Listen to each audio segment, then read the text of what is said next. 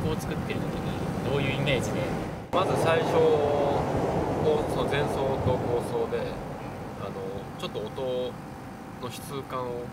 変えてて、まあ、聞いてもらえると思うんですけど前奏部分はちょっともやがかかってる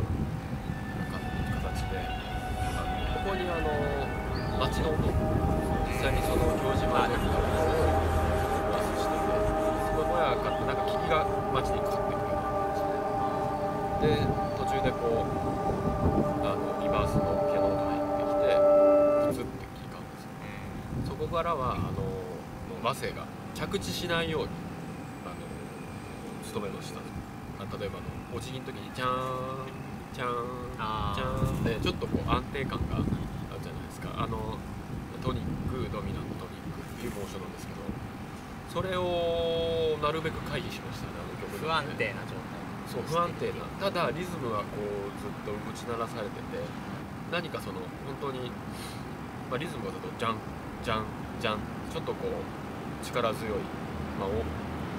伊久部明的なあの伊久部明はもっとオーケストラでドンってやりますけどジャッジャって周期的なリズムは入れて、まあ、そこでなんかこう一種の進行とかあの土着的なものそのそういったこうーベースを作れたらなと思ってただその上に乗せる和声に関しては何が起こるか分からない。その迷宮的なあの曲調にしたくって。で結構トリッキーなあのことをやりました。で不安定なこう和声を意識しているっていう状態であのただその上にこうああいう歌いやすいメロディーをまあ実際その子供に歌ってもらおうと思ってるんであの歌いやすいメロディーを、まあ、民謡みたいなやつを書いてあるんですけどを乗せてちょっと弾きやすくはなってる。あのメロディーなくなったら多分だいぶキモいと思いますけどね。気持ち悪い感覚になるという。この前提として今こうツアーツアーパフォーマンスのね作品を作っていて、まあ、小野くんは小野墨田区にずっと住んでいて墨田区の中でパフォーマンスをするにあたって、まあ、自分のいわば住んできた場所で曲を作ってくださいという無理難題をしているんだけど 自分のいた場所って逆に分かんないかなっていう気が、僕が多分地元のでそういう作品作れって言われたらなんか思いが逆にありすぎもするし興味もないところもあるしみたいなところでなんかせめぎ合いそうだなと思っていて墨田区でたくさんのこう鎮魂の場として成り立ってきたっていうところを取り上げて作るというテーマとしては共有していたりあとまあ水の町って言われてるところから水っていうところをテーマにしようかなとしていたけれども、まあ、曲を作るってなったら何をこう作るのかなっていうところ気になっていたいやいやでもさっきおっしゃってたようにもうやっぱ自分が生まれ育った場所なんで正直そこまでこう思い出はあるんですけどあの興味はないんですよね。それで、まあ、大体そういう方多いと思うんですけど本当にちっちゃい頃から決まってるんで。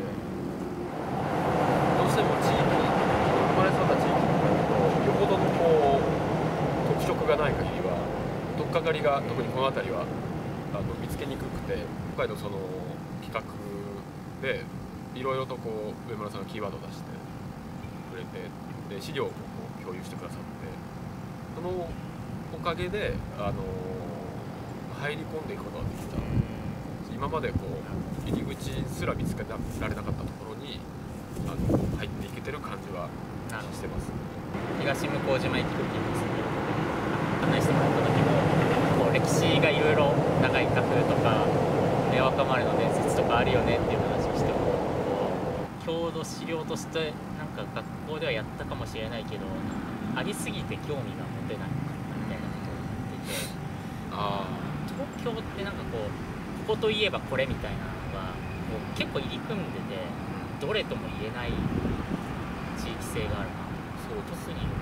大島は昔は日本一人が多かった。みたいなことそれもね今回びっくりしましたけど最初のスクランブル交差点ができたって言われてその時になんか調べてそれを調べてたりするとやっぱあのキラキラ商店街らへんっていうのはすごい人口密度で。あの交差点も僕ずーっとちっちゃい頃から見てるんで何とも思ってなかったんですけどそうだよね。今や何の変哲もない気はいするそういう歴史だったんだって、ねでもそういった歴史がこう語られてないんですよねこの辺りって、語られる歴史って神社になってたりとか、あの観光スポットとして、まあ巡られるものってもう決まってて七福神巡りとか、はい。昔から、そういったものじゃないもうちょっと民族学的なことって深掘りされないから、まあ、こうアートで深掘りするしかないっていう意味でみんなちょっと深掘りしだしてるんだけどやっぱ深掘りしすぎちゃいけないものがあるから深掘りできないところとかもあるなっていうことをやっていて感じて。あ近畿的な意味もあるかもしれないけどそれよりもうちょっと楽なめっちゃあすごいもうちょっと楽なこう静かにひっそり暮らしたいからそういうイベントに関わりたくないみたいな人とも出会ってきてまあ、それの気持ちもわかるしもうちょっと言うとれ歴史的な背景として屠殺場があった話はい。屠殺場があったってことも当然知らなかったんで。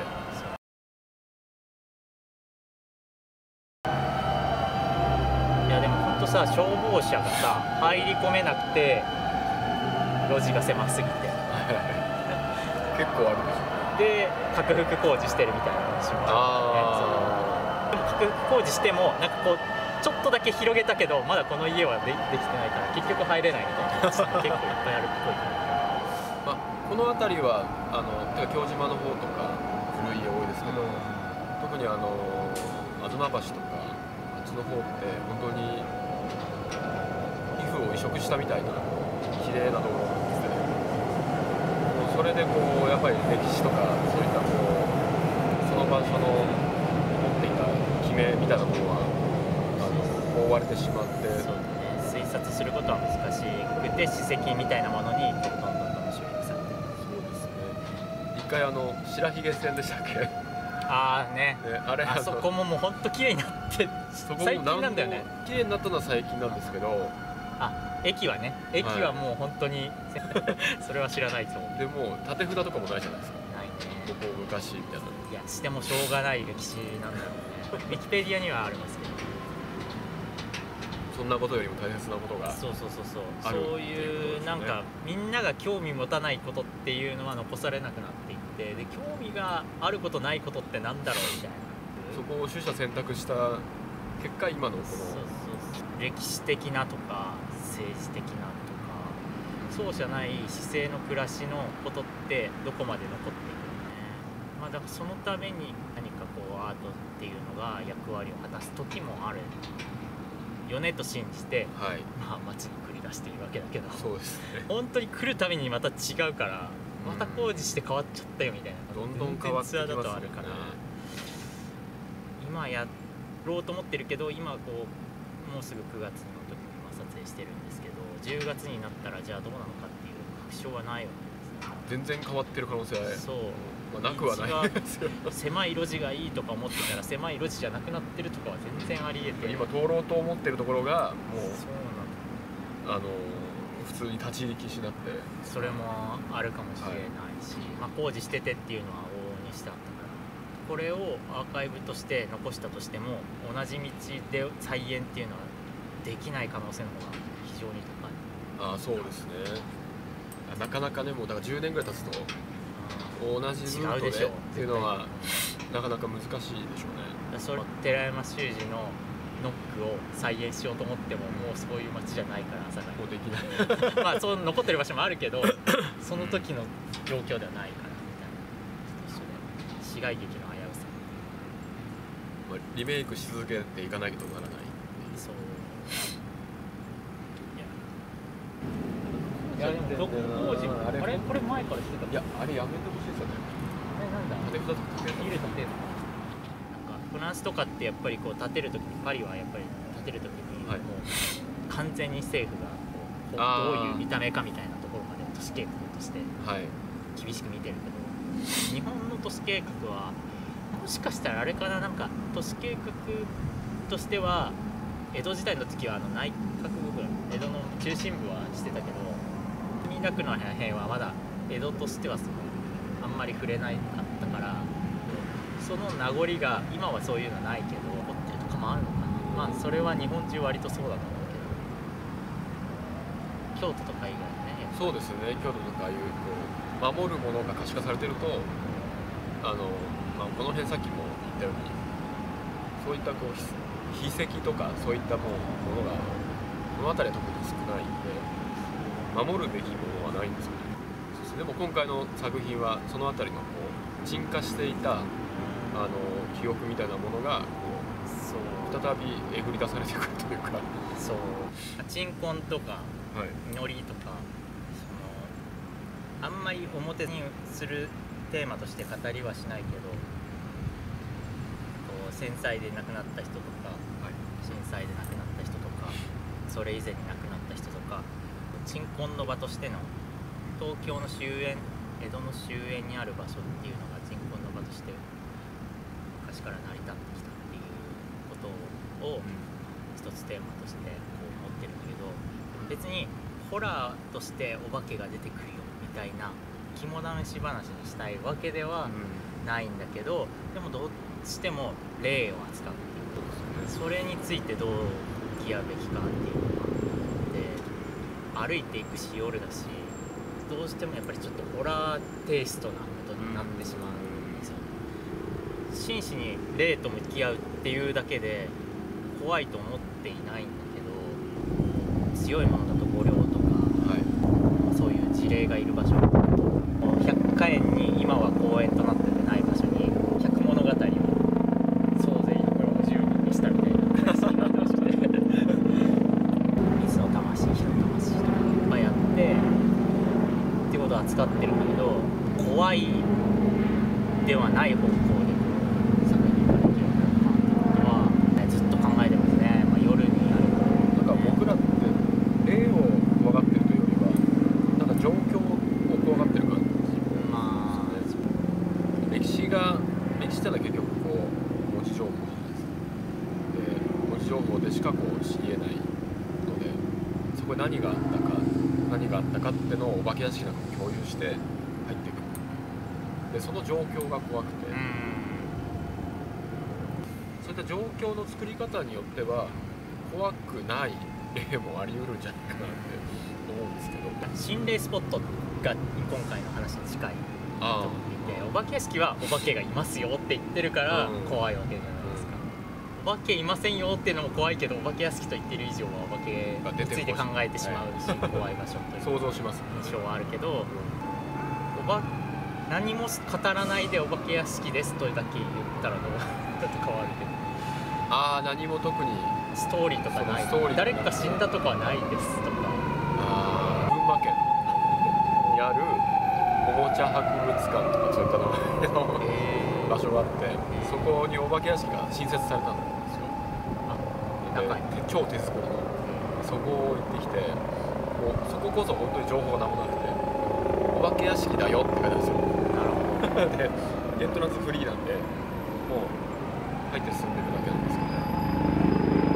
あそこでの怖さって、まあ、中真っ暗なんですよ前情報が何もないけどお化け屋敷っていうシチュエーションだからお化けいるだろう。そのこう、まあ、やっぱりシチュエーションですよお化け屋敷だからお化けいるんだ。結局全然出てこなかったんですよ。じゃあだから心霊スポットだからお化けいるだろうって近くて見える霊媒師の人の話曰く心霊スポットには霊は本当はいないんですよみたいな話があって。霊も自分のいた場所にいるからあ本当に死んだ場所とかはそんな驚し驚しいトンネルとかにずっといたくないんで家とかに帰るんですよって話をしてて。霊も怖いところは怖いんじゃないあそっかそっか。意味でだからむしろこういう街中とかにいっぱいいるんじゃないかなと思って。普通にここに立ってる可能性ある。そうだから墨田区は人がいっぱいいて怖くはないような気がするけどなんかいそうっていう気は人の気配すごいしててそうですか。いるんだと思うんだよあどっかには。僕は見えるわけじゃないからはいわかんないけど、どっかにはいるような気がしていて。でそれはあの実際いろんな人が亡くなってきたり人がいっぱいいたからそもそもっていう歴史が成り立ってる。でも多分道をきれいにしたり人がどんどんいなくなって廃墟だったり空き家だったりを壊していったりすると霊も一緒にいなくなる。場所が消えるからそう多分霊の霊のいた家とか霊が知ってる風景じゃなくなっていくと霊も一緒にいなくなってくる。そういうのもあるんですか？まああの呪物とかってさ物に当たってるはいはい、霊ああれはすごい理解できて。まあどの程度のものなのかとかによるけど思いが詰まってるものっていうのに霊がいるような気がするみたいなその気がする部分がないので、まあ、ここで人が死んだんですよ何も今はアスファルトの中なんですけどってなったら霊は別にいないと意図と経度で霊がの居場所がスポーンするとかいうゲームみたいに決まってるわけじゃないと思うんだよもうちょっとやんわりとやんわりとこの辺知ってるからまだ霊はいるしあなるほど。いなくなったら0.5%ぐらいしかいないとかいう状況があると思う。そうだ確かに僕もそうだな死んだら確かに帰ってきそうそうね。僕が思いが強いとしたらここに帰ってくるけどこの建物なくなったら帰ってこない確かに確かに。京島とかのねあの割と残ってるところにいるかもしれないっていうのはそういう。ああ古い古民家とかそうそうそう。いうところに。そういうまだ覚えている景色に残っているそういうとこが帰ってきやすいですよね確かに。個人的な話で申し訳ないですけどあの昔新越谷ってあの埼玉の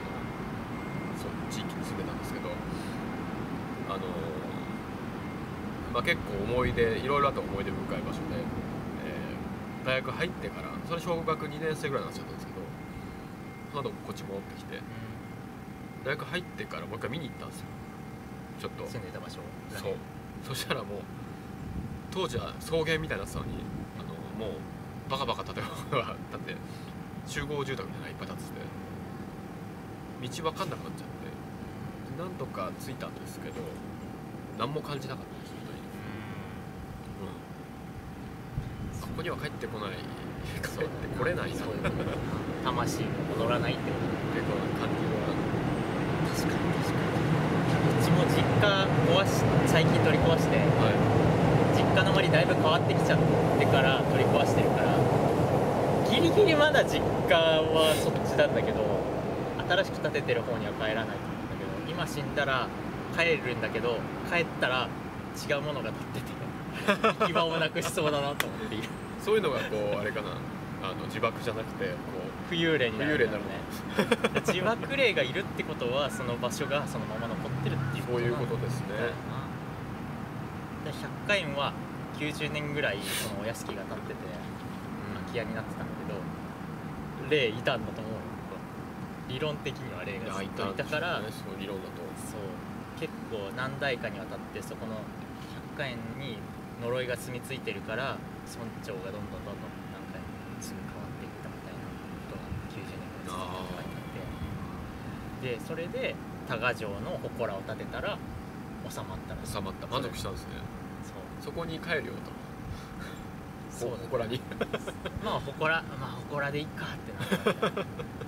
心霊的なこと信じないと思っててもやっぱりどこかで、まあこれはだからいるよとかいう話ではなくてはい。自分たちの心の中にあると思うんだよいるかいないかは、まあ、定かではないけれども、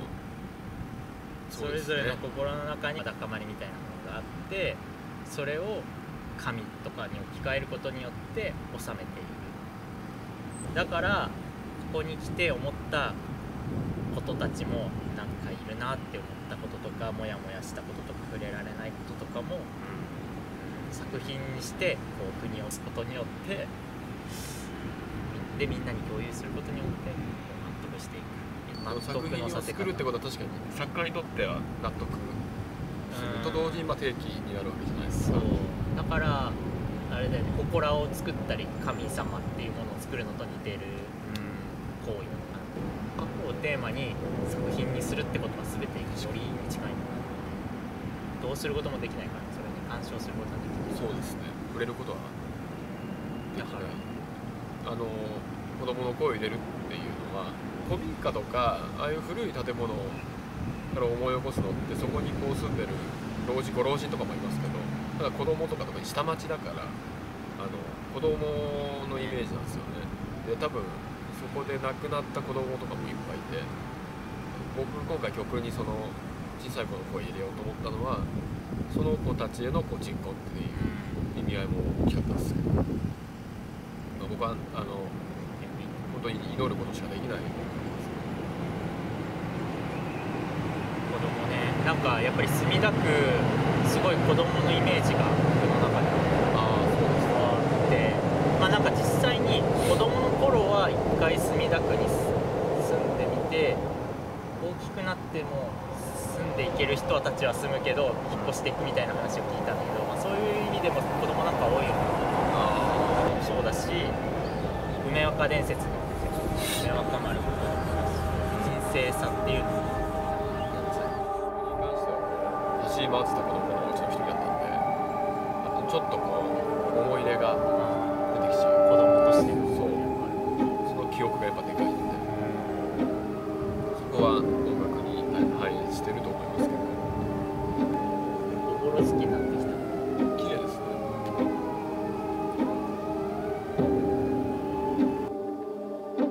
ということで、